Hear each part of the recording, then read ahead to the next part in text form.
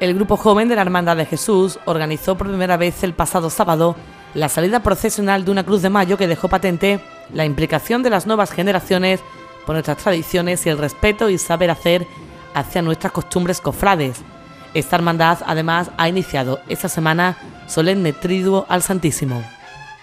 La procesión del pasado sábado, que recorrió algunas de las calles más populares del barrio de San Miguel, contó con la participación de los grupos jóvenes del resto de hermandades de Marchena. La cruz, que en varias ocasiones ha portado el titular de la hermandad del Viernes Santo, se ubicaba en el antiguo paso de San Juan, con sudario y faldones realizados desde el grupo de costura de la Hermandad de Jesús, y con las maniquetas antiguas de la Virgen de las Lágrimas. La banda de cornetas y tambores Centuria Romano Nuestro Padre Jesús Nazareno y Nuestra Señora del Carmen acompañó al paso.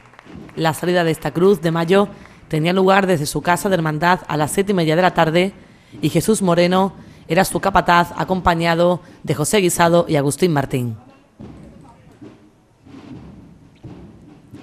Por otro lado, desde este lunes y hasta el próximo miércoles, la Hermandad de Nuestro Padre Jesús Nazareno celebra, con motivo de la festividad del Corpus Christi, solemne triduo al Santísimo con exposición del Santísimo Sacramento, lectura bíblica, meditación y bendición eucarística. La hora prevista 9 de la noche en la parroquia de San Miguel, estando presidido y predicando el padre Fray Tomás Javier Gago Sotelo, párroco de San Miguel y director espiritual de dicha archicofradía.